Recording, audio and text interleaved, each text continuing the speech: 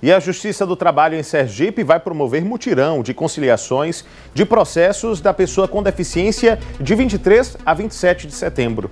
A repórter Aline Aragão tem as informações.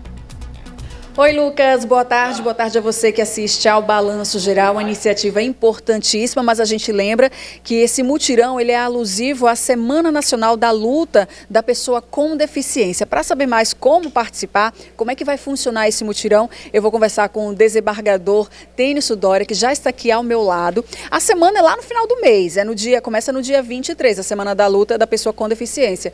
Mas é importante a gente falar do mutirão, porque as inscrições são essa semana. É isso? Bom dia, boa tarde. Boa tarde, Aline. Boa tarde, Lucas. Boa tarde a todos e todas. É um prazer estar aqui.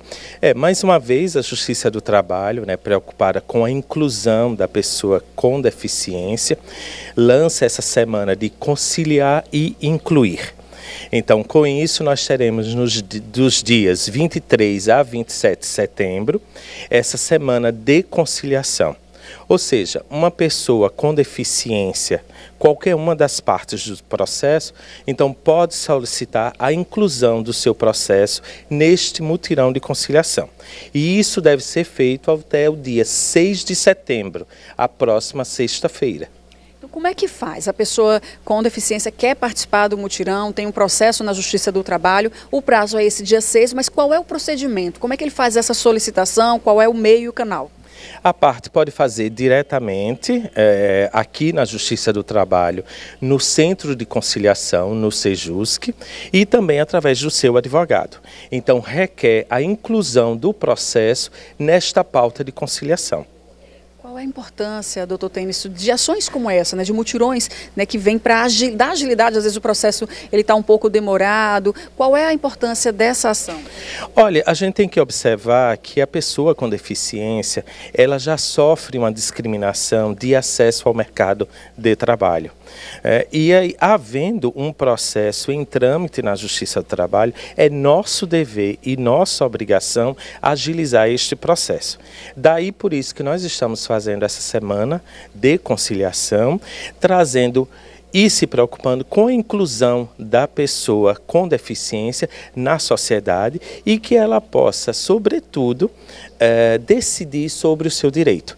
Então, será um agente ativo na solução deste processo. Muito bem, então se você é PCD, tem um processo tramitando na Justiça do Trabalho, presta atenção ao prazo, você tem até sexta-feira, dia 6, para poder fazer essa solicitação, o seu advogado, você pode fazer essa solicitação no Tribunal Regional do Trabalho, pode ser online ou tem que ser na sede do TRT? Não, pode ser online, via e-mail e também via telefone. Então é só entrar em contato com os nossos números de telefone do Centro de Conciliação e aqui está aí na tela e assim imediatamente o processo será incluído. Nós já temos, fizemos inclusive uma busca ativa destes processos e nós temos uma previsão de 160 processos que são aptos a essa semana, né, de serem incluídos na semana de conciliação.